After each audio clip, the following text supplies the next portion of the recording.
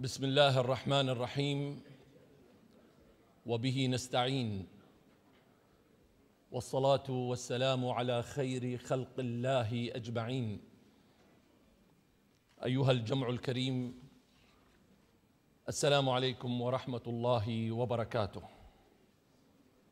نلتقي اليوم لنتذكر اخا كان في الأمس القريب خير من يجمعنا.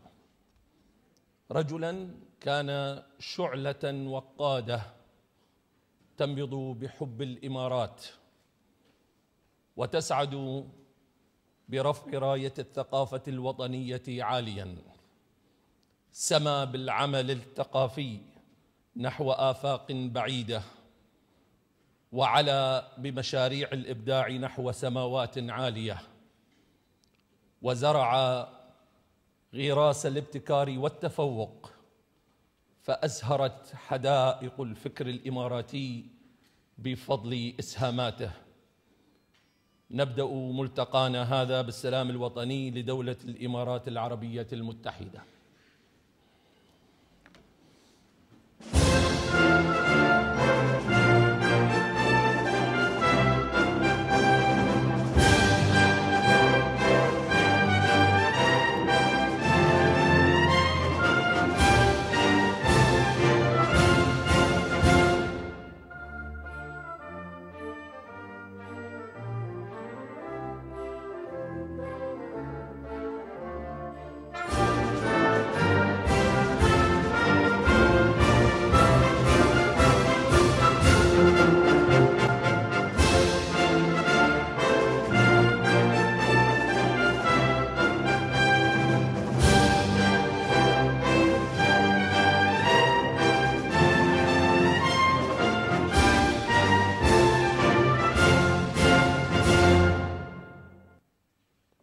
كان رحيل محمد خلف المزروعي مؤلما وموجعا لقلوب محبيه. ولكننا جميعا لا نملك إلا أن نسلم بقضاء الله وقدره وأن ندعو لفقيدنا بالرحمة والمغفرة أن يتغمده الله بواسع رحمته وعظيم مغفرته. نستمع وإياكم خاشعين لتلاوة مباركة من الذكر الحكيم. مع فضيلة الشيخ عبد الله البريمي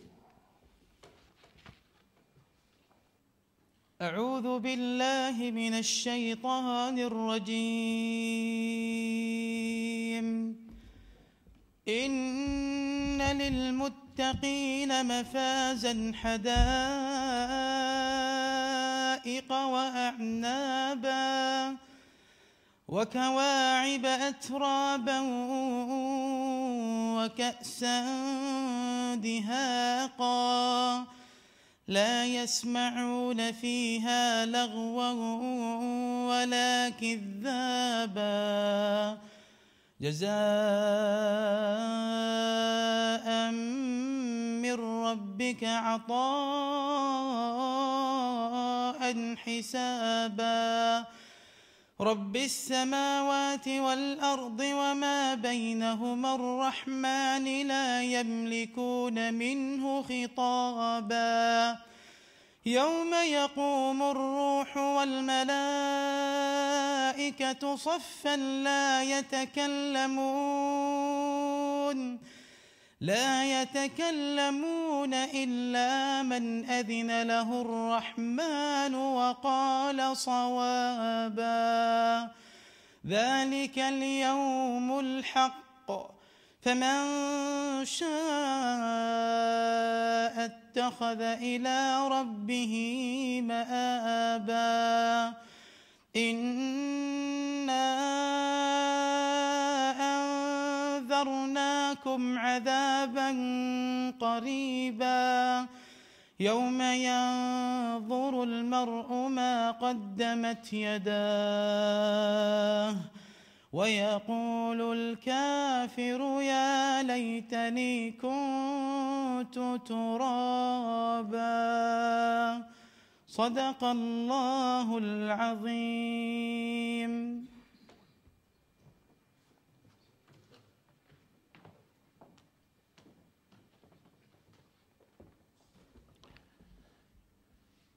هل من رثاء لائق ليبلسم جرحا بروحي يا محمد مؤلما؟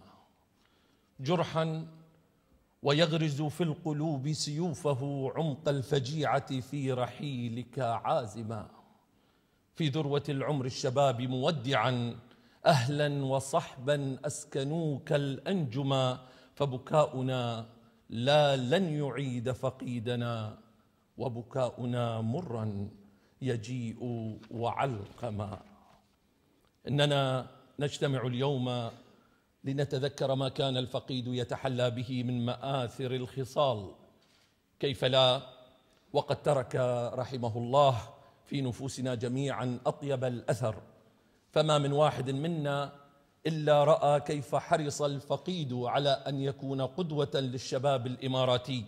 أو شهد له موقفا إنسانيا نبيلا يفتخر به. مع كلمة سعادة الدكتور جمال سند السويدي مدير عام مركز الإمارات للدراسات والبحوث الاستراتيجية.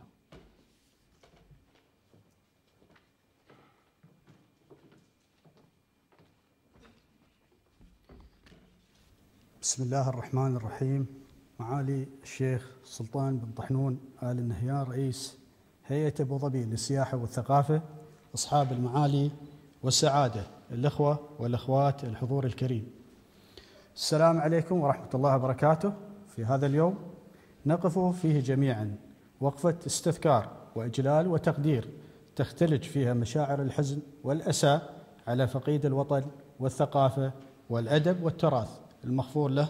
بإذن الله تعالى محمد خلف المزروعي نسجل لفقيد الثقافة الإماراتية والخليجية والعربية بمداد من الفخر والكبار دأبه على العطاء والإبداع وبصماته الوطنية الخالصة والمتميزة عبر أكثر من عقدين من الزمن في المسيرة الثقافية والتراثية والإعلامية لدولة الإمارات العربية المتحدة. ولا سيما دوره التأسيسي في مسابقة أمير الشعراء وبرنامج شاعر المليون والمعرض الدولي للصيد والفروسية وغير ذلك من الأنشطة الثقافية والتراثية ومسؤولياته القيادية الأخرى. لقد عاصرنا جميعا فقيد الثقافة الإماراتية عن كثب وهو يسهم في الإشعاع الثقافي المتلألئ لدولة الإمارات العربية المتحدة على المستويات الوطنية والخليجية والعربية ويقدم في الوقت نفسه رؤيته لأجيالنا الحاضرة وفي المستقبل والمراتب المتقدمة التي ينبغي أن ترتقي إليها دولة الإمارات العربية المتحدة في ميادين الثقافة والأدب والشعر والإعلام والفروسية والصيد وغيرها. وبخاصة حرصه وعمله الدؤوب لتكريس العاصمة الحبيبة أبو ظبي عاصمة ثقافية عربية تنفيذا لتوجيهات سيدي صاحب السمو الشيخ خليفة بن زايد آل نهيان رئيس الدولة حفظه الله وسيدي الفريق اول سمو الشيخ محمد بن زايد آل نهيان ولي عهد أبو ظبي نائب القائد الأعلى للقوات المسلحة. وإن كان لنا من كلمة نقولها في هذا اليوم فلا نقول سوى أن محمد خلف المزروعي موجود بيننا اليوم وكل يوم وذكراه العطرة منتشرة في كل مكان. تغمدك الله أيها الفقيد بواسع رحمته والهم وألهمنا وذويه وأصدقائه ومحبيه الصبر والسلوان والسلام عليكم ورحمة الله وبركاته.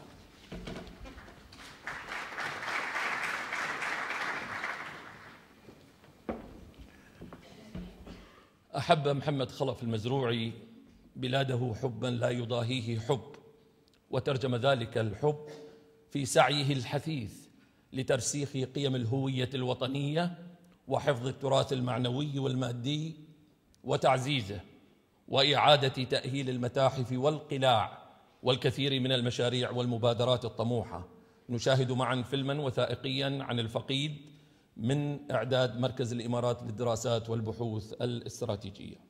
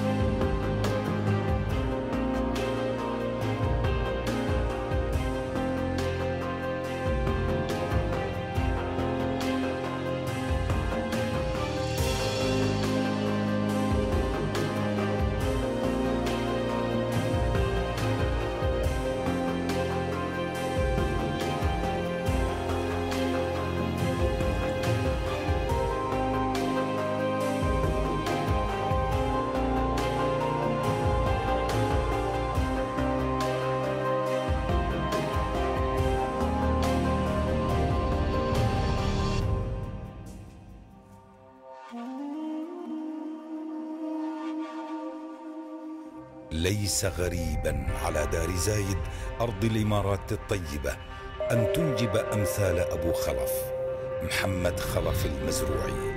فقد كان رحمه الله نعم الإنسان الوفي لبلده وقيادته وشعبه.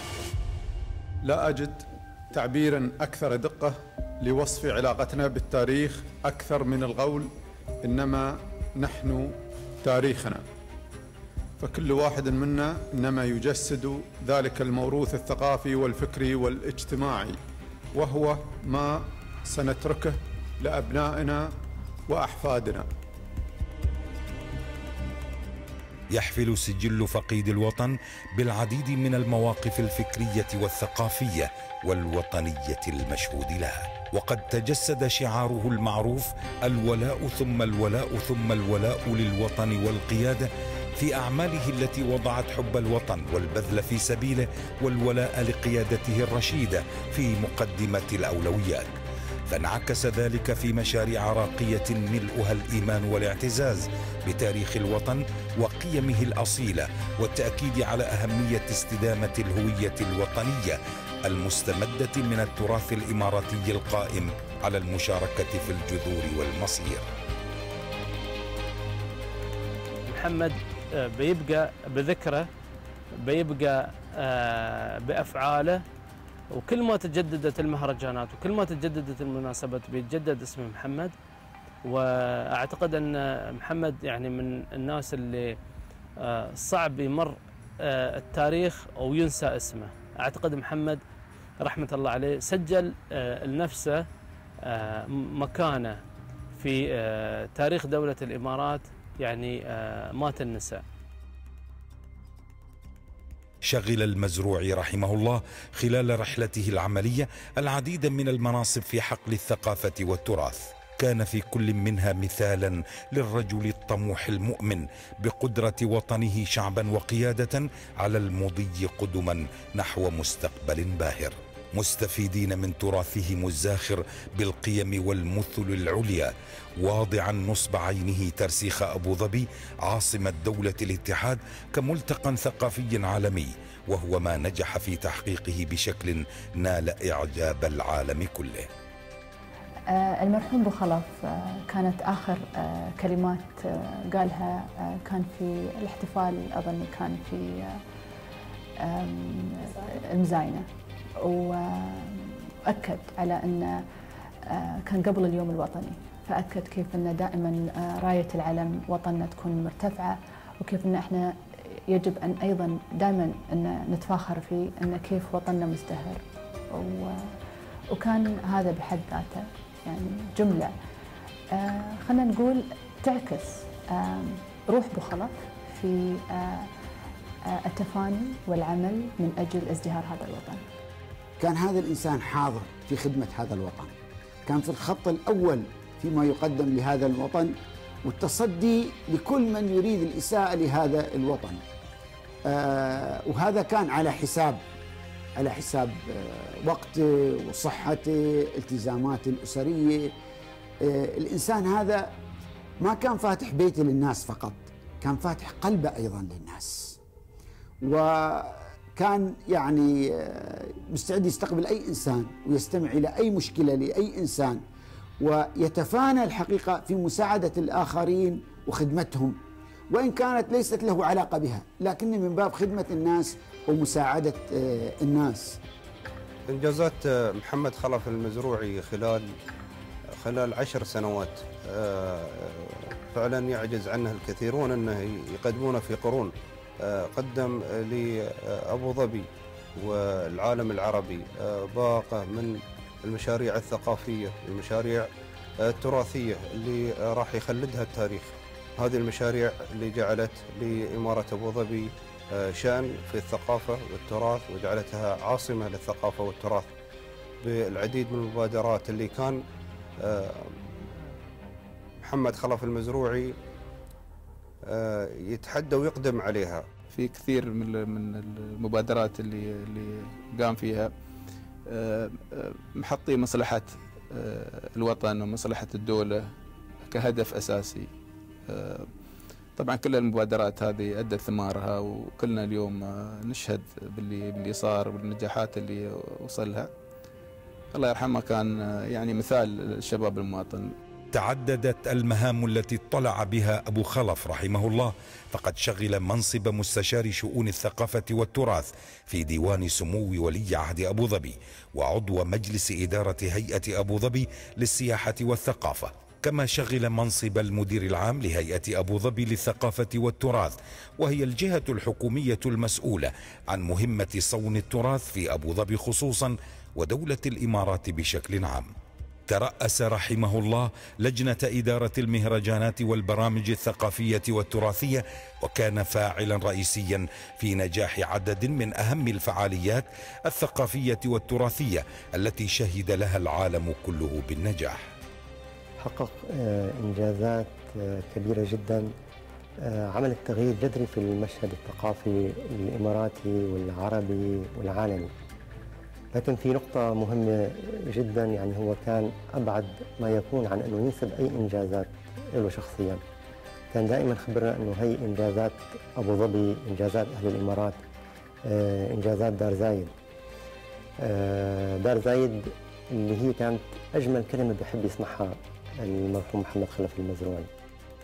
كانت بداية جهود أبو خلف رحمه الله عام 2003 حينما أخذ على عاتقه إطلاق فعالية المعرض الدولي للصيد والفروسية الذي نجح في تحويله خلال فترة وجيزة من مناسبة محلية إلى مهرجان اقتصادي وسياحي وفلكلوري من الطراز الأول ببعدين إقليمي وعالمي.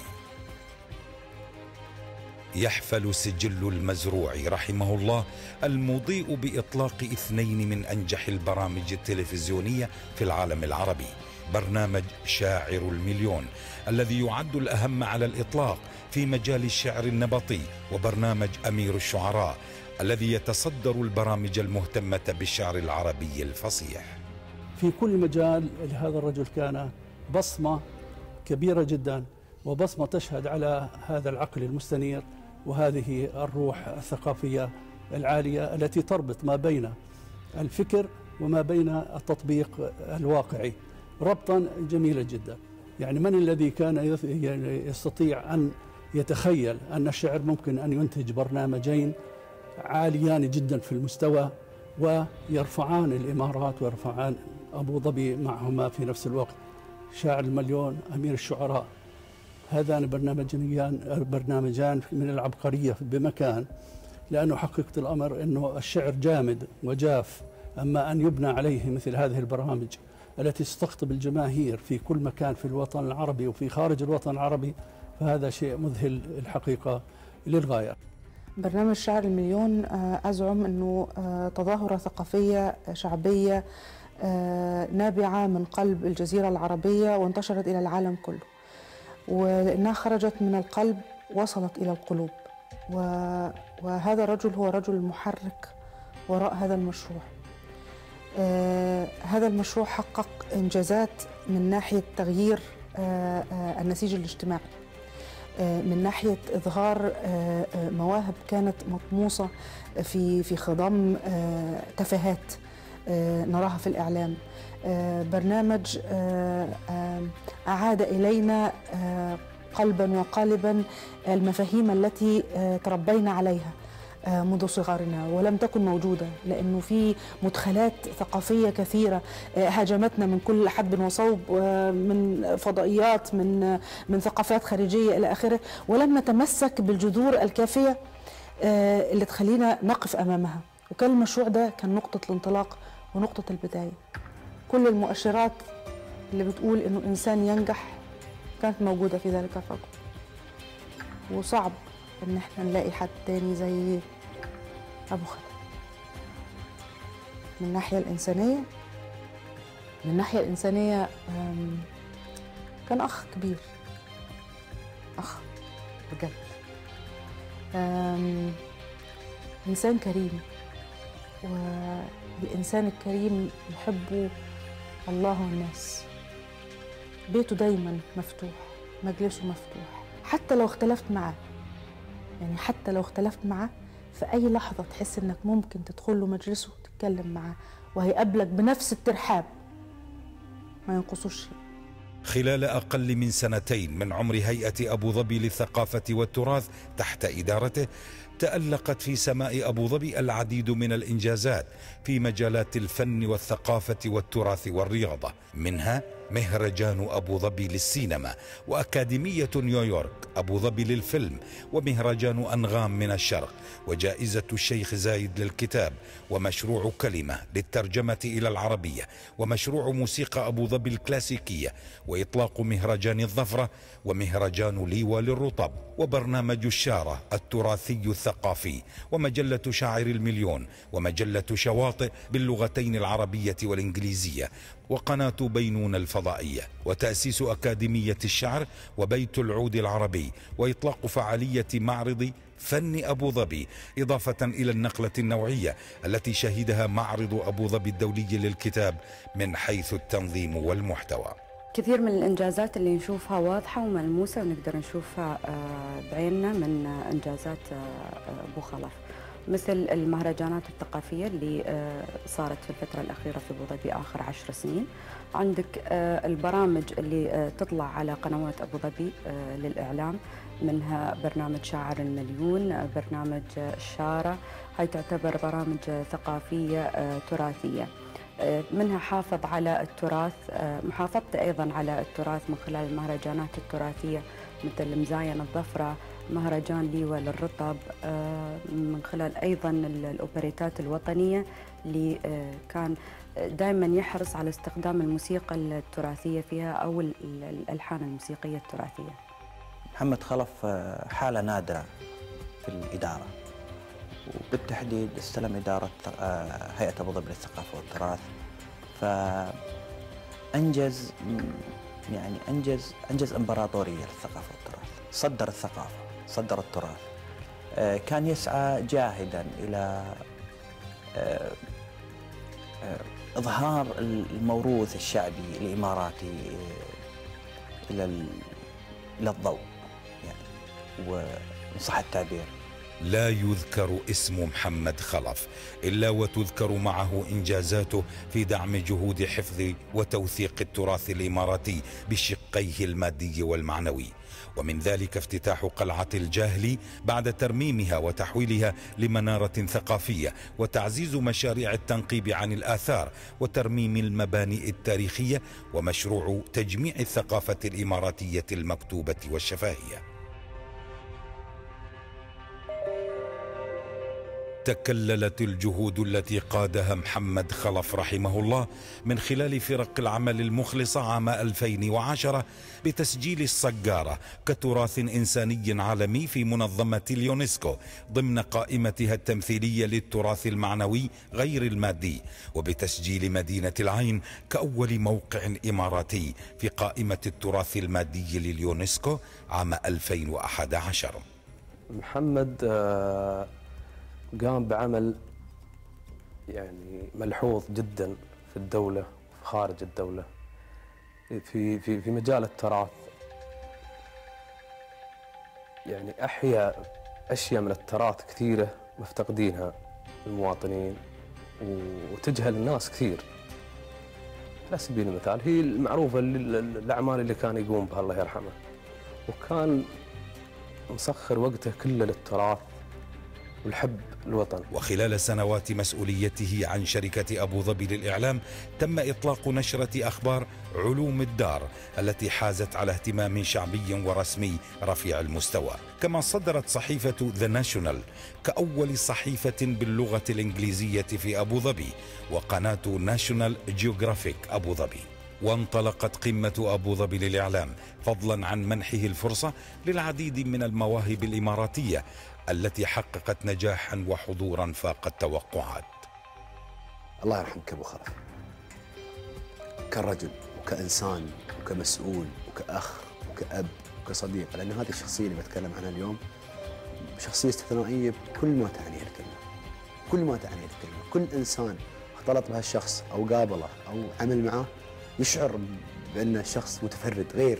سبحان الله. الله معطينا يعني الله يرحمه كان معطينا الشخصيه والكاريزمتك وأيضا الحضور المبهر تواضع مبهر غريبة شخصية غريبة استثنائيه هذه الشخصية بتكلم عنها اليوم. من من جانب آه، خدماته للتراث أو أعماله اللي عملها للدولة. آه، لو نقعد يمكن ساعتين مش في هذه الكلمة البسيطة يمكن ما راح نعددها لأن أشياء كبيرة. لكن باختصار راح أقول محمد خلف كان نقلة في عالم الإعلام والتراث والشعر والأدب والثقافة. صعب. أن مثل هذا الشخص يتكرر في آه، تفكيره في آه، تخطيطه في بنائه لفرق العمل اللي تعمل معاه. آه، محمد خلف المزروعي بالنسبة لنا نحن اللي اشتغلنا معاه عن قرب. أنا يعني من سنوات طويلة مع محمد خلف المزروعي. يمكن قبل ما أنتقل للعمل في هيئة الثقافة والتراث كان في أعمال شاركت فيها. يمكن لمست من هذا الرجل حبة للعمل اللي يؤديه وما كان يعمل معنا كشخص إداري يعطي أوامر للتنفيذ. كان مشارك في التنفيذ. كان شخص ما يشعرك أنه يعني مجرد مدير أو مسؤول.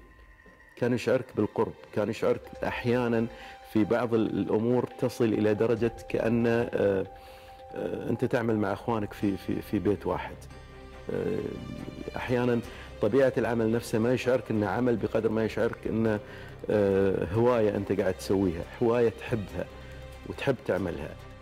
حياة المرحوم الله يرحمه ويغفر أبو خلاف كان من خيرة الشباب الموجودين آه، في الهيئة وحط لمساته وبصماته موجودة في الهيئة في التطوير في تطوير الشباب في تطوير الكوادر الوطنية الموجودة. آه، أبو خلف هو من من الوطنيين من الشباب اللي وطنيين اللي آه، من الطراز الأول. مهما نحن تكلمنا في أبو خلف أعتقد ان بعد آه، ما راح نوفي حقه. سوى كل شيء. يا رب يطول عمار الشيوخ. هذا من فضل الله من فضل الشيوخ. حطه في مكان الزين. ونجح. تسمع؟ وبعدين هو ولد البلد. لازم انه ويمشي على طريق معازيبه يمشي على طريق معازيبه ما يبور. وإنجازاته وايد ومعروفة. وايد وايد. لا أتكلم لك اليوم لين باكر. أي نعم. فقدنا يعني يعني غالين. الشيخ زايد رحمة الله عليه. وامثاله من المؤسسين من الشيوخ. فقدنا يعني آه، رجال كثير خدموا هذه هذه ومحمد واحد منهم. فحقيقة هذيلا خلاص. يعني الرسالة اللي توصلنا نحن اليوم إن محمد وغيره خلاص يعني سجل اسمه في خدمة دولة الإمارات. محمد وضع وضع بصمته في دولة الإمارات. وحط له مكانه. يفتخر بها هو ويفتخرون بها عياله ويفتخرون بها أهله الدور علينا نحن الآن كل واحد منا يدور له مكان وهذا المكان أصبح زحمة لأن الكل الآن يتنافس على خدمة دولة الإمارات. المرحوم الله يرحمه كان يعامل الناس كأخوان كلهم. القريب والبعيد وابن عمه واللي ما يعرفه. كله نفس الشيء. واي ريال يجيه ما يرده ولا يقول له صبر شوي وأبشر بالخير. أي حد مريض دين عرس حد عنده عرس يبقى عانية يبقى شيء يبقى دوام يبقى يبقى الشيخ يبقى يبقى يدخل على شيخ يصير له يصير عنده خلاف كان في مصر ولا كان في ليبيا ولا كان في تونس ولا كان في أي بلد كانوا يجون كلهم. يجون عند ابو خلاف هنا هو اللي هو اللي يعرفونه. كانوا طاير قال لا يصير يصير عند ابو خلاف ما عنده حد هنا يعرفونه. إلا البيت هذا يا رب يطول عمره الشيخ خليفه والشيخ محمد فاتحينه وحطوا الريال اللي يستاهله حطوه يدروا بهنه ريال كفو في الأمور هاي كفو حطوه. والحمد لله. الله يرحم ابو خلاف ويعوضنا عنه خير بإذن الله تعالى. ويعوض الإمارات التي كان يحبها إلى حتى الثماله لم تكن له وصية معلنة بين الناس إلا أنه دائما يقول إذا مت كفنوني بعلم الإمارات. مش مرة واحدة عدة مرات وفقد حدث ذلك. الله يرحم أبو خالد ويرحمنا جميعا برحمته وجه السعد والمسرة والهنا. نجمة أفل من سما الدنيا وغاب. محمد الجود للا شنحنا. يشل متنه يشل الثقيلة والصعاب. محمد الجود للا شنحنا متنه يشل الثقيله والصعاب واليوم نصفق عليه كفوفنا جل وقت ذي ما حسبنا الحساب. قصبا علينا ولو ما ودنا ولا على قدرة المولى عتاب. عليك يا صاح حزن قلوبنا حزن المسقي على سيل الشعاب. ذرى ذرية بغاطي بالجنا والموس مخلف سنا برقه وعاب أكبر خسارة علينا كلنا. فراق زبن المجنة والركاب. ننعاك والناس تنعى حظنا. حجزت مقعد ذهاب بلا إياب. والدهر كشر نيابه ضدنا من عقب ما انت قلعته ناب ناب رحم الله أبو خلف الذي كان مثالا بارزا لقيم المبادرة والتعاون في تحقيق الإنجازات. وهو ما تحتاجه الأوطان الطامحة نحو العلا. محمد خلف المزروعي قامة واستقامة.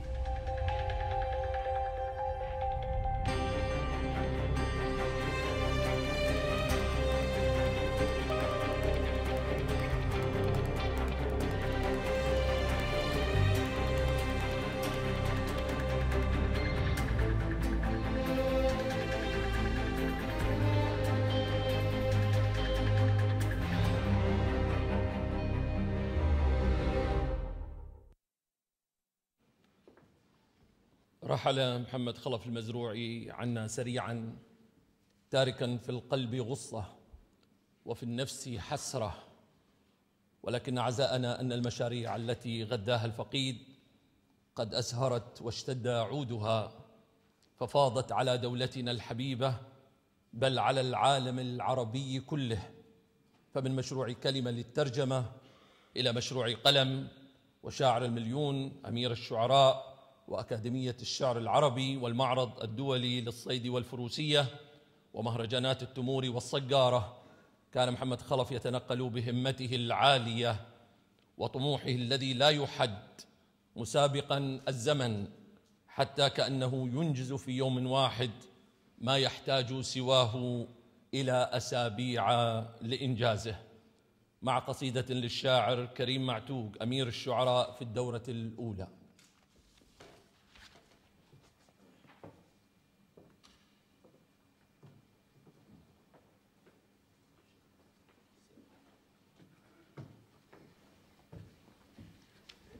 سلام من الرحمن موصول بالرحمة. سمو الشيخ سلطان بن طحنون شكرا على الحضور. سمو الشيخ محمد بن سلطان شكرا على الحضور. سعادة الدكتور جمال سند شكرا أن جمعتنا.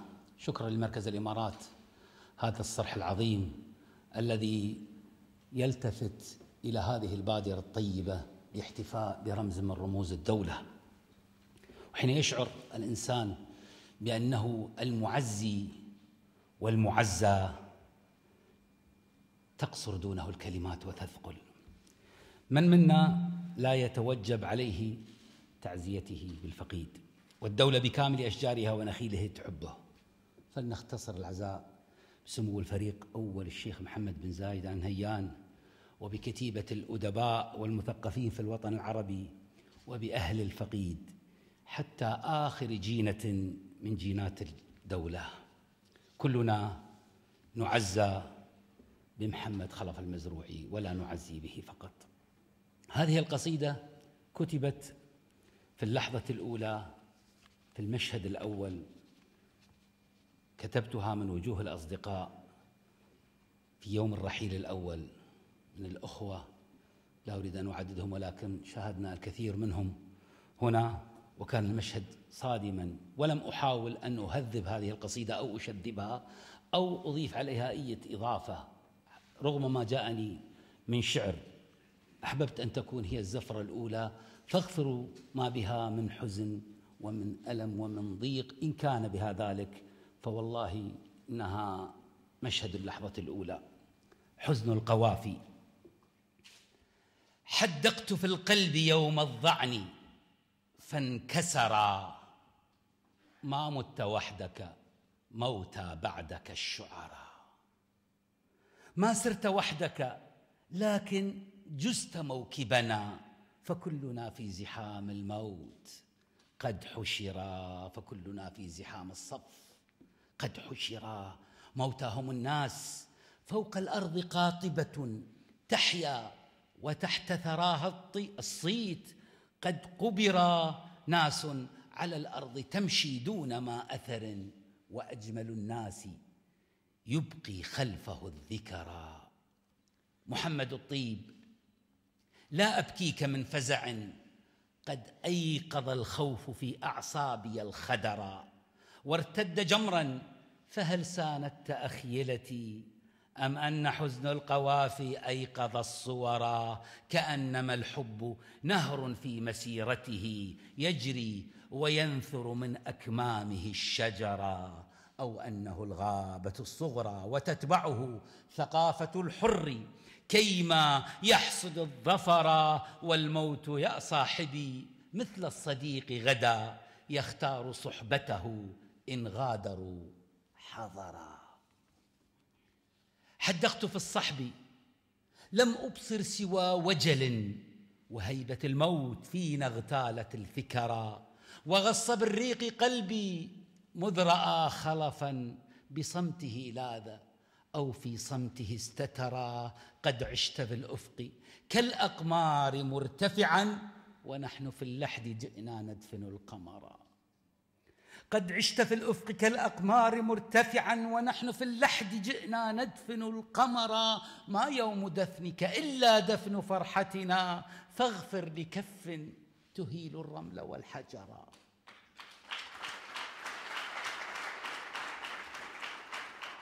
وغص بالريق قلبي مذ راى خلفا. بصمته لاذ أو في صمته استترى. قد عشت بالأفق كالأقمار مرتفعا ونحن في اللحد. جئنا ندفن القمر. ما يوم دفنك إلا دفن فرحتنا فاغفر لكف تهيل الرمل والحجر واغفر لحزن بدا. خبأته خجلا كي لا تطيل على أحزاننا النظر وكان حزنك أن تلقى أخا حزن. يستكتب الحزن أو يستنطق السير حتى إذا جاء مذعورا وثبت له كيما تقيل الخطى إن مال أو عثرا. قد كانت الدار. أغلى ما وصفت لنا. وكانت الدار في تاريخك القدر. أعطيت للدار ما أعطيت فاتحدت مشيئتان وحب قط ما فترى تذود عنها. بما أوتيت من سعة في القول فيها بما من صدرك انهمر. وها رحلت عن الأصحاب مكتفيا. بما قضيت بعمر مر واندثر كأنما الموت صياد بمخلبه يمشي بعدته جهرا ومستترا وحط فوق بلاد الخير معطفه وخاط فيها كمينا يربك البشر واختار بالحق من مالت قوادمه. فصاد منا الثمين الماجد الحذرا لا أسأل الله إلا رحمة وسعت إلى الشقيق الذي قد أزمع السفر. شكرا.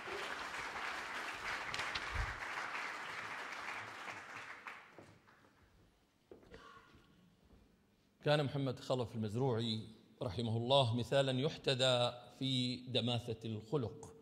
واتقاد الذكاء ونموذجا في العمل الجاد الدؤوب خدمة للوطن العزيز.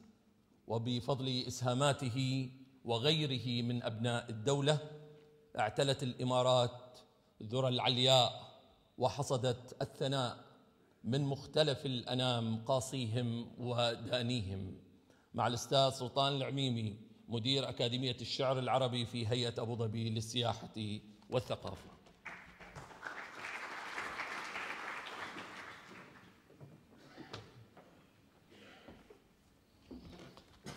بسم الله الرحمن الرحيم كل الشكر لشيوخ الحضور والإخوان الإعلاميين والمحبين محمد خلف المزروعي محمد خلف المزروعي حضور لا يعرف الغياب وهل يغيب الشخص عن الوجود بمجرد رحيله عن الدنيا وهل كل من يعيشون بيننا أحياء هناك العديد من المقولات التي تتفق على أن الحياة الحقيقية للإنسان تكون فيما ينجزه وأن العمر الحقيقي يحتسب بسنوات إنجازاته لا بالفترة التي تكون منذ ولادته إلى وفاته. ورغم رحيله منذ أسابيع قليلة وهو في قمة عطائه وإنجازاته ونجاحاته إلا أن شخصا مثل محمد خلف يبقى حيا في أرض الواقع وفي ذاكرة لا تعرف النسيان. إن لهذا الوطن ذاكرة لا تنسى من عمل لأجلها وضحى بوقته وجهده لخدمتها لليوى وأهلها ونخيلها ورمالها التي ركضت قدم محمد خلف على حباتها يوما. ذاكرة لا تعرف النكران والجحود لمن زرع في أرجائها بذور حب هذا الوطن ورفعته. وللثقافة الإماراتية ذاكرة تعرف جيدا من أخذ بيدها يوما وحلق بها عالميا عاليا حتى بلغت آفاقا عالمية. للشعر بأنواعه لمسابقتي شاعر المليون وأمير الشعراء لأكاديمية الشعر للفنون بأشكالها للسينما ومهرجاناتها للموسيقى وآلاتها للإعلام بكافة قنواته وأشكاله ووسائطه. لمعرض الصيد بالفروسية وفعالياته لمهرجانات المزاينة لمهرجانات الرطب لمشروع كلمة للترجمة لمعرض أبو ظبي الدولي للكتاب للقلاع والمتاحف والأغاني الوطنية والمهرجانات والأوبريتات ولإنجازات ومشاريع أخرى عديدة لها جميعا ذاكرة. تعرف جيدا من هو محمد خلف المزروعي وما هي البصمة التي تركها في ذاكرة كل منها.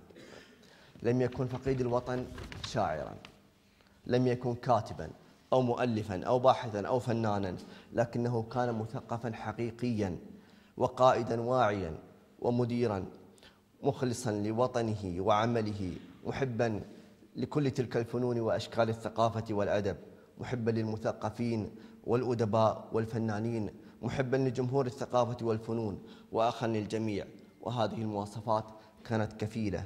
لصنع قائد ناجح يقود ويدير منظومة ثقافية ناجحة. من عمل معه يعلم كم الإنجازات التي تحققت على يديه وحجمها.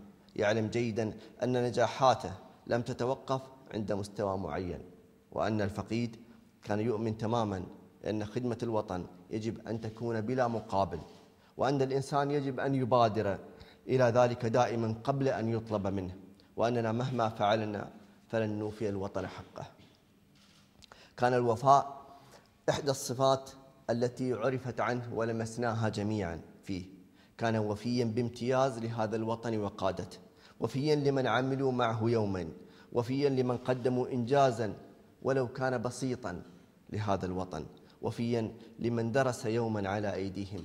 وفيا لأصدقائه. وكان يشير إلى صفتين متلازمتين يراهما مهمتين في الإنسان حتى يكون جنديا مخلصا لوطنه وقادته هما الوفاء والولاء. ولم يكن توفرهما يقتصر عنده على الأفراد فقط بل وحتى في المشاريع الثقافية. كان يرى ضرورة تعزيزها لمعاني الوفاء والانتماء للوطن وقادته في نفوس أبناء الوطن. كان يملك قلبا محبا لقادته ووطنه وتراث وطنه وأبناء وطنه. كان يملك فكرا نيرا محبا للسلام والتسامح. كان يضع ثقته في من يعمل معه بإخلاص مؤمنا أن تحقيق النجاح لا يتوقف على وجود شخص واحد أو موظف أو مدير بل يجب أن يشارك الجميع فيه وأن يستمر حتى وإن غاب فلان أو فلان. كان يملك تواضع الكبار وتسامحهم ونخوتهم وشهامتهم فكيف لا يجد كل ذلك الحب من القريب والبعيد. وكيف لشاب في مقتبل عمره اجتمعت فيه كل تلك الصفات القيادية والإنسانية التي عرف بها أن لا يحسد النجاح تلو النجاح.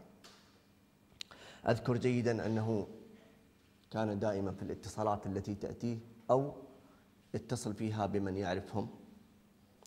عندما يودعهم كان يردد دائما الله لا يحرمني منك ولا من وصلك. واليوم نقول نسأل الله أن لا يحرمنا اللقاء به. اللهم ارحمه واغفر له وصبر قلوبنا على فراغه. السلام عليكم.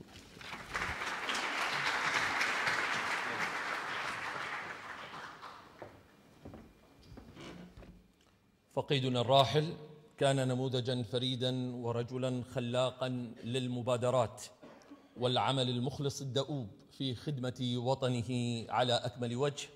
وشكل مرحلة مهمة من مراحل التطور الثقافي والتراثي لمدينته التي كان يعشقها.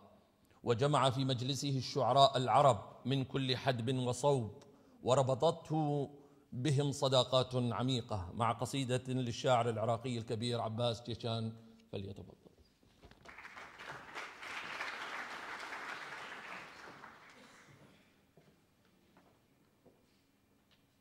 سمو الشيخ سلطان بن طحنون سمو الشيخ محمد بن سلطان الدكتور جمال السويجي اللواء فارس المزروعي السادة الحضور السلام عليكم.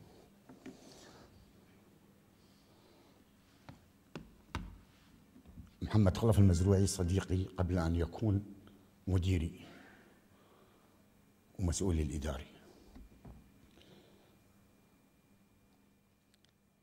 فصعب علي أن أرثي صاحبي. هذه المدة كنت أطاوع نفسي بالكتابة ولكن البارحة طلعت القصيدة.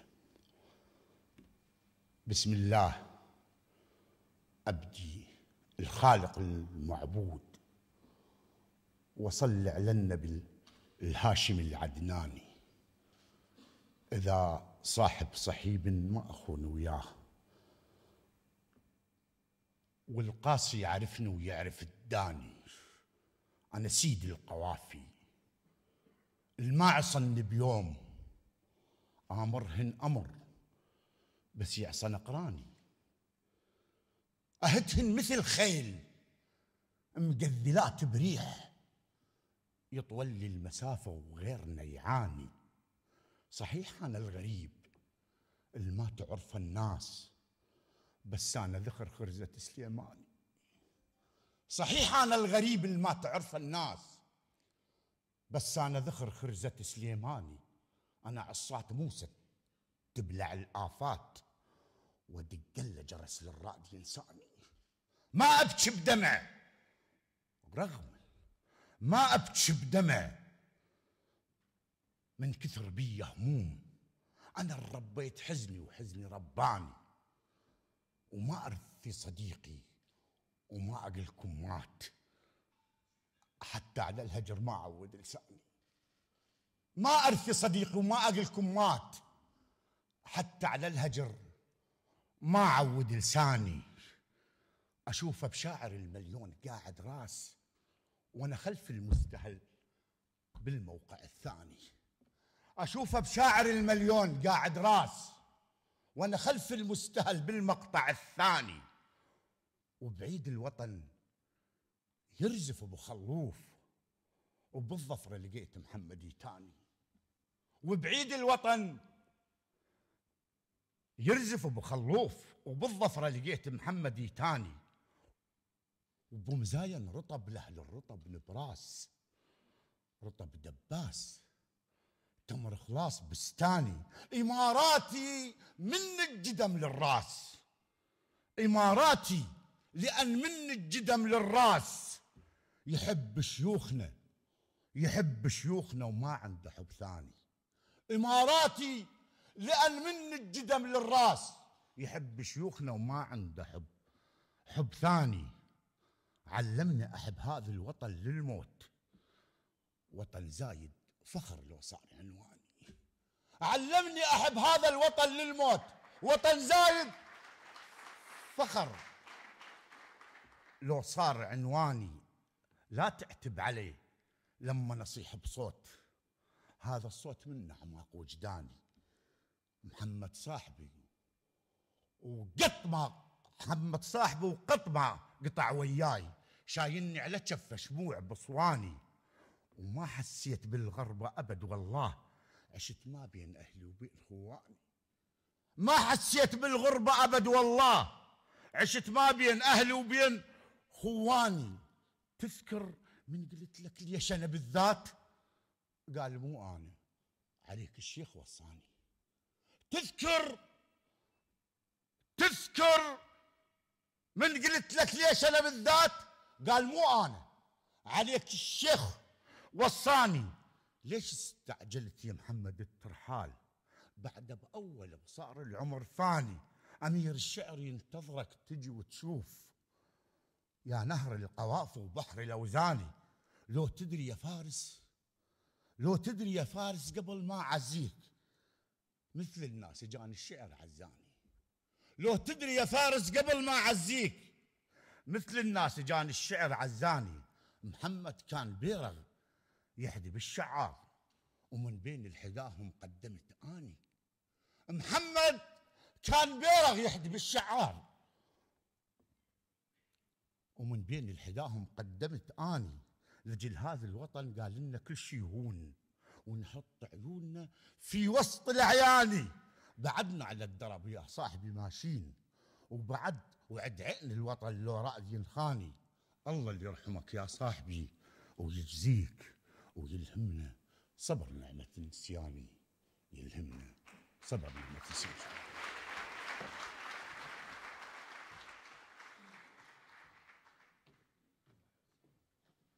ستفتقدك يا أبو خلف منابر الشعر وساحات المهرجانات الثقافية ومشاريع الثقافة الوطنية. فقد خسرت رجلا يتلقف كل جديد نافع. ويرسم دروب النجاح بنجاح. رجلا هو من نسيج هو نسيج فريد في الابتكار والإبداع. وعزاؤنا الوحيد أننا نرى آثار خطواتك تشهد بعمق انتمائك وبصماتك جلية في كل ركن من أركان العاصمة أبو ظبي. وأعمالك ناطقة بكل سجية ومعبرة عن سعيك في طلب المعالي. وقد نلت قصب السبق. جزاك الله عنا كل خير وأجزل لك الثواب. وقد حللت في داره وهو الكريم الجواد. مع قصيدة للشاعر سيف المنصوري شاعر المليون في الدورة السادسة.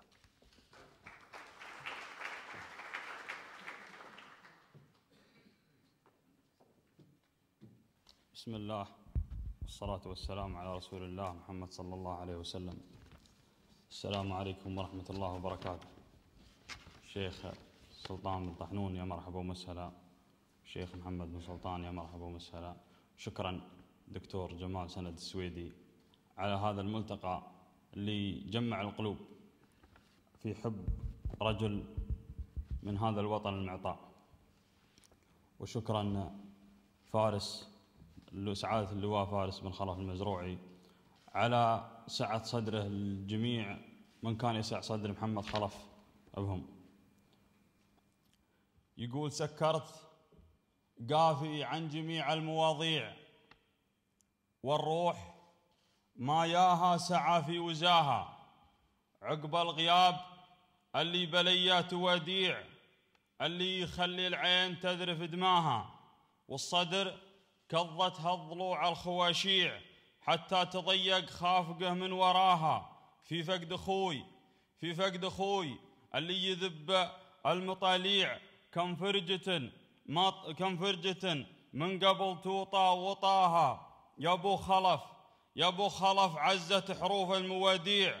وكم كلمة مطاع يظهر خفاها. فقدك يروع والحزن له تسانيع ومن لا بكى فرقاك عينه شكاها. يبكونك شيوخ تضك المجاميع ودموعها تشرح لنا عن عناها ويبكونك اللي ذكرهم فالعرب ذيع وأهل البيوت الطايلات وذراها ويبكونك أهل الذود في معشب الريع في خايع الظفرة ومظلم سماها ويبكونك أهل مقرنسات مفاريع وتربط طيور القنص ما تباهى ويبكونك الشعار بابيات توديع كأن الحزن يتلبس اللي قراها. حزنك بحر ما هو بملك المجاريع كم غارق في بحر حزنك وتاها. حزنك حزنك بحر ما هو بملك المجاريع كم غارق في بحر حزنك وتاها. لكن موتك حق له أمر ونطيع والنفس بأمر الله تسير هواها ولكن ذكرك حي بين المواضيع وطريق نحيي به قلوبنا دلاها وبشرك مجلسك طلق المصاريع يحوي الرجال بضفته ويتباهى وبشرك مجلسك طلق المصاريع يحوي الرجال بضفته ويتباهى ما دام صوت المرحبا له تشاريع وعاد الدلال يفوح زاكي شذاها وبشرك دون الوطن ذكرنا شيع وارواحنا نبض البلاد وفداها وصيتك يوم الليالي مرابيع عيونكم ستر البلاد وغطاها. وصيتك وبشرك دون الوطن ذكرنا شيع وارواحنا نبض البلاد وفداها. وصيتك يوم الليالي مرابيع عيونكم ستر البلاد وغطاها. يلا عسى قبرك رياضه مفاريع وفي جنة الفردوس روحك مشاها. معاد عقبك نستلذ المواضيع اللي يتل أهل القصيد معناها وسلامتكم.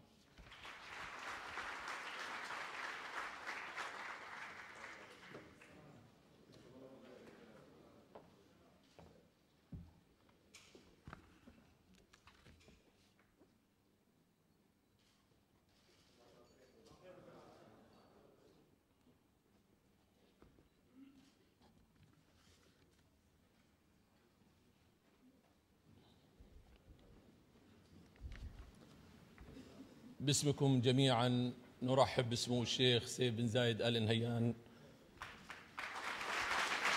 نائب رئيس مجلس الوزراء وزير الداخلية. حمل الفقيد راية الفخار بالوطن ولم يدخر جهدا في العزف على سيمفونية الخلود. ولذا جاء نغم الوداع مفاجئا فتوزعت في جوانح النفس أعراض ألم الفقد وترنحت الكلمات في مسافات البوح والرثاء مع قصيدة للشاعر على جانب أمير الشعراء في الدورة الأخيرة.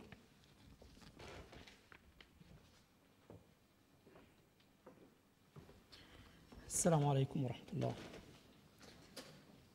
أصحاب السمو من السادة الشيوخ السيد رئيس المركز السادة الحضور تحية من عند الله مباركة طيبة.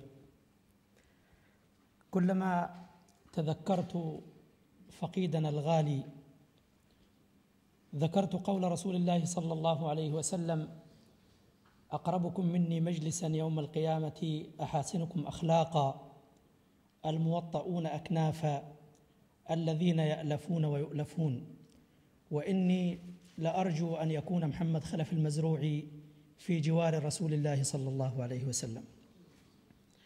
قصيدتي دمع الفجاءة حيث كانت الحادثة الأليمة مفاجاه لنا جميعا.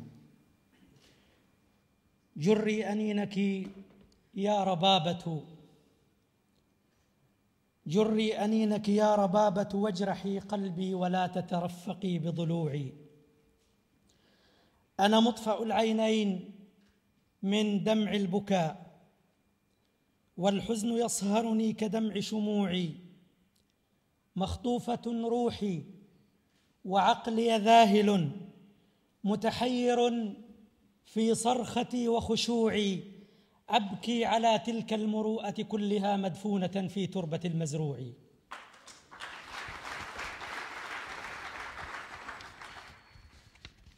أبكي على الشهم الوفي على الذي أخذ الرضا ومضى بغير رجوع.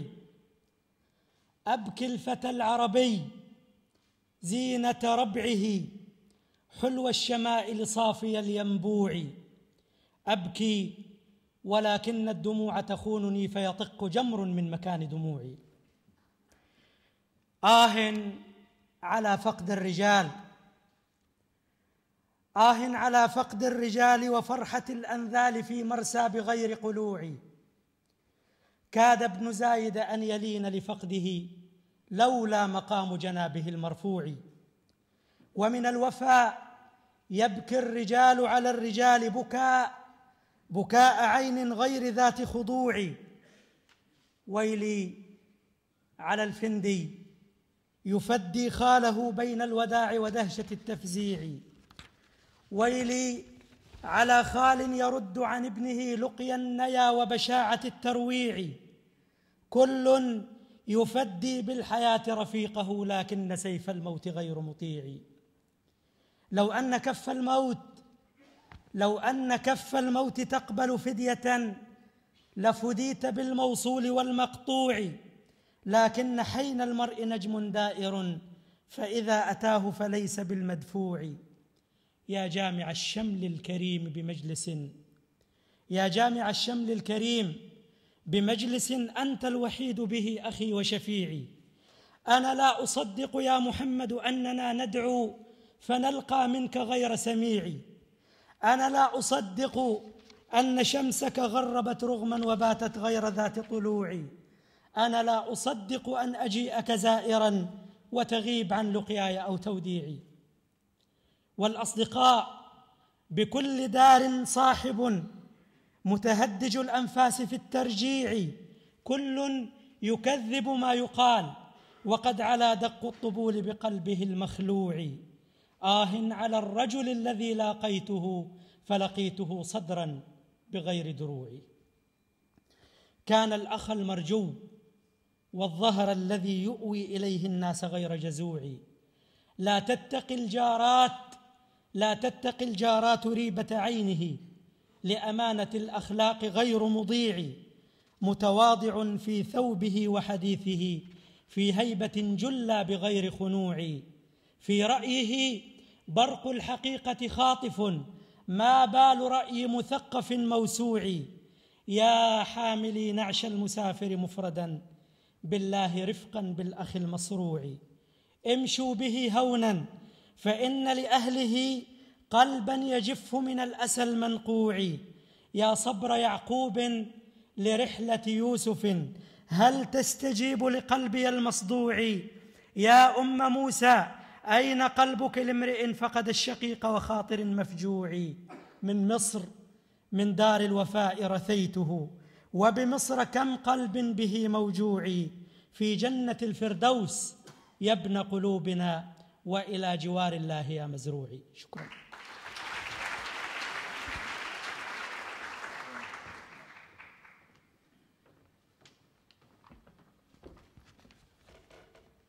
كان لمحمد خلف المزروعي صداقات مع الكثيرين سواء ممن درسوا معه أو عملوا بجانبه أو كانوا من رواد مجلسه الطيب وما أكثر الأصدقاء الذين كانوا يودون لو أتيحت لهم فرصة الحديث عن الصديق الذي فقدوه.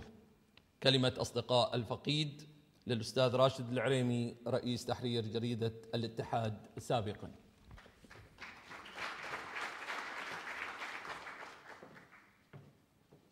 سمو الشيخ سيف بن زايد آل نهيان أصحاب سمو الشيوخ سعادة مدير المركز أيها الحضور الكريم. أحاول أن ألملم ما تشتت من أفكار وما تبعثر من كلام. لأقول في هذا اليوم بعض ما يوفي أخي محمد حقه. وإن قصرت في الحديث اللائق به فلأنني على يقين بأن ما قد أنجزه باق يفصح عن نفسه وهو خير ما يحدثنا عنه وشاهدنا في ذلك ما تركه الراحل خلفه من منجزات تشهد له بالحب والتفاني في خدمة الوطن الغالي. كان محمد الصديق الذي يملأ الجنبات عملا وحبا لا حدود لهما. كان ملاذا للبوح وللود. تتلاشى عنده الأحزان والهموم. وكان ملجأنا حين تفتر الهمم وتتقاعس الأبدان. عرفته مسؤولا في العمل واخا وصديقا في الحياة وكان في الحالين ملهما ومعلما. تقوده همته إلى العمل وكأنه كتيبة من المقاتلين الذين تحثهم روح البطولة والفداء. يومه أيام وساعاته ساعات. يصعب أن تصدق أن رجلا واحدا استطاع أن يترك بصماته على كل هذه المواقع وحبه في كل هذه القلوب. همته العالية كانت تجعله يفترض في الآخرين أحيانا أنهم يستطيعون أداء ما يؤديه ولربما أثقل معاونيه بالمهام قياسا إلى ما يمتلكه من طاقات. فيما يحثهم حبهم له على العمل بأكثر مما يستطيعون ولربما اكتشفوا في أنفسهم طاقات لم يكن يعرفونها. إنه التصميم الذي كان محمد يزرعه في النفوس. كان أبو خلف متواضعا زكي النفس. يصدق عليه قول النبي صلى الله عليه وسلم الذين يألفون ويؤلفون. قدرته على دخول القلوب بلا استئذان كانت تحيرنا. نفسه الزكية تبدو حتى في لحظات النقاش أو الاختلاف. الخلاف مع الود هو أكثر ما يميز الرجال الكبار وكان الراحل كبيرا حتى مع الذين خاصموه وما أكثر ما تحولت الخصومات إلى تقدير كبير وصداقة وثيقة. أبحث اليوم عن الأخ عن الأخ الوفي الذي يسكن تفاصيل الود المفتقد فتخرج مواقفه لتقول لي غادر ولم أغادر. أبحث عن الرجل الذي يقول نذرت نفسي للإمارات وإنسانها ولم أرحل قبل أن انثر حبي لوطني على كل حبة رمل فيه وعلى كل شبر من هذه الأرض التي أعطتنا الكثير وتستحق أن نعطيها أكثر. كان محمد رحمه الله قد زين مجلسه بجدارية ذات فكرة مبتكرة جمع فيها اخلاطا من تراب الإمارات من مختلف مناطقها جمعه من رمالها ووديانها وجبالها من السلع وإلى الفجيرة. وكان رحمه الله فخورا بجداريته يرى فيها تجسيدا للحمة الإمارات ودولة الاتحاد.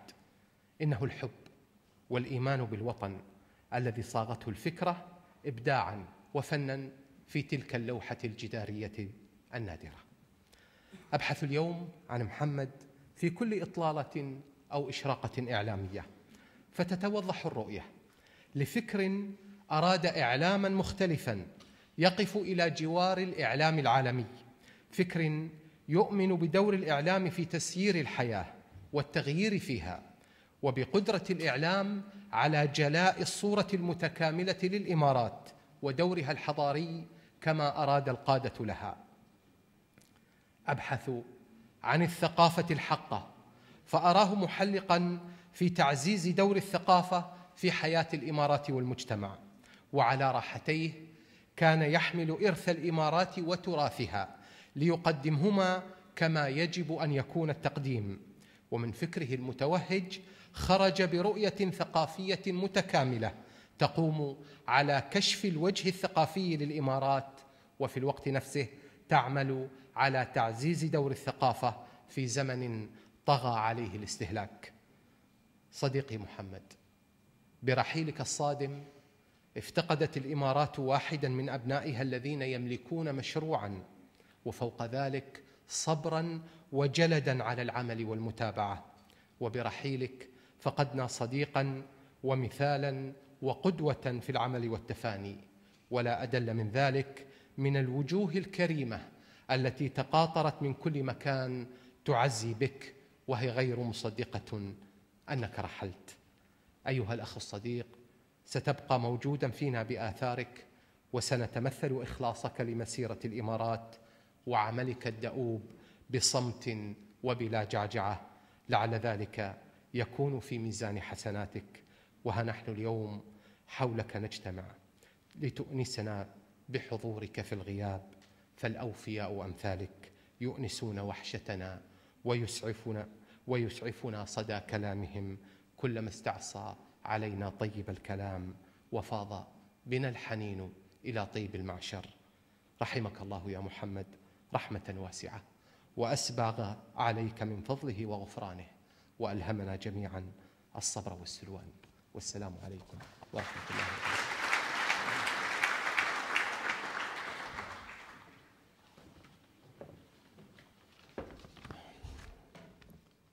أسرة الفقيد التي فجعها المصاب وجدت المواساة في كلمات الناس الطيبين ولمسات الوفاء التي عبر عنها أصدقاء محمد خلف وأحباؤه. فكان لذلك أعظم الأثر في نفوس أفراد أسرته جميعا. مع كلمة شقيق الفقيد سعادة اللواء الركن طيار فارس خلف المزروعي رئيس جهاز حماية المنشآت الحيوية والسواحل.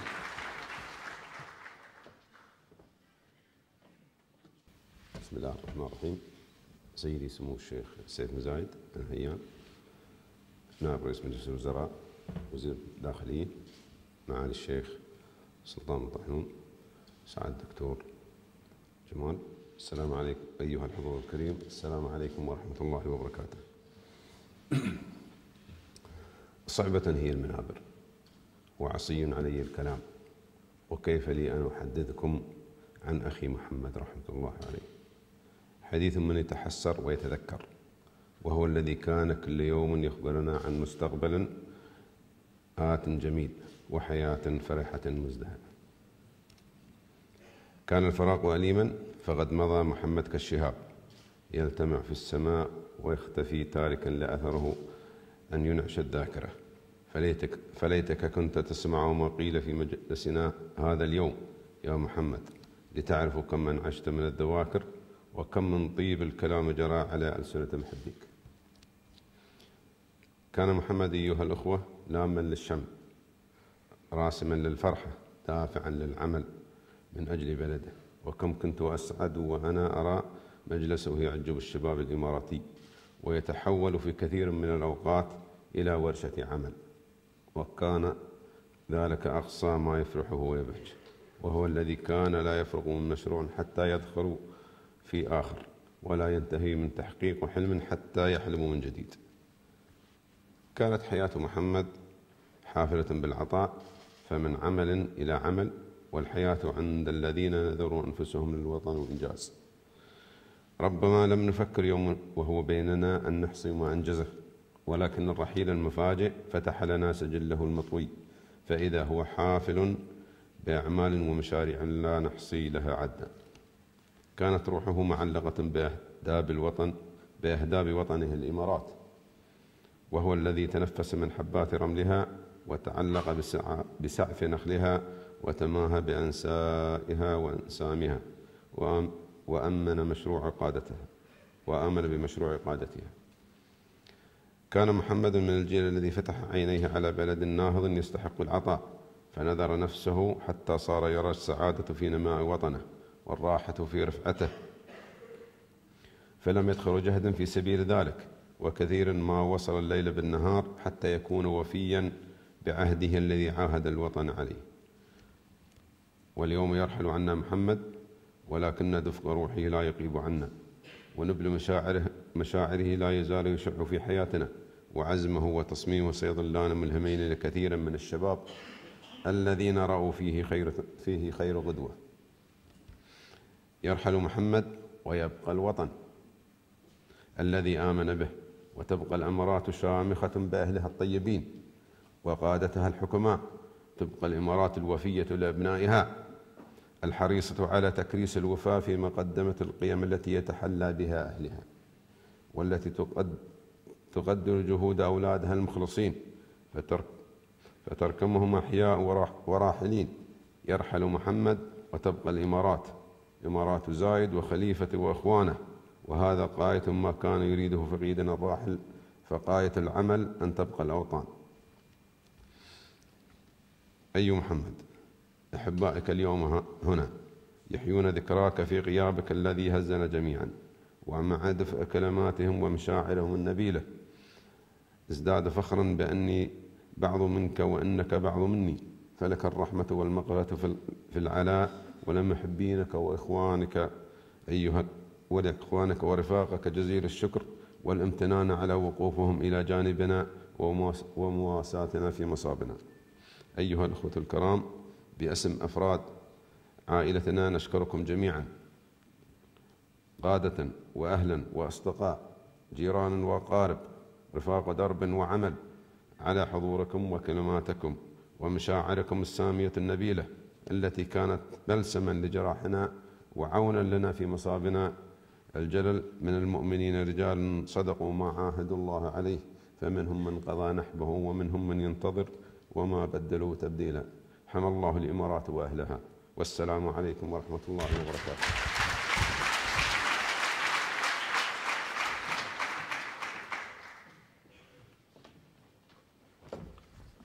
وفي ختام ملتقانا هذا يتشرف مركز الإمارات للدراسات والبحوث الاستراتيجية وسعادة الدكتور جمال سند السويدي بتكريم عائلة الفقيد محمد خلف المزروعي عرفانا بمكانته في خدمة الوطن والثقافة والانتماء.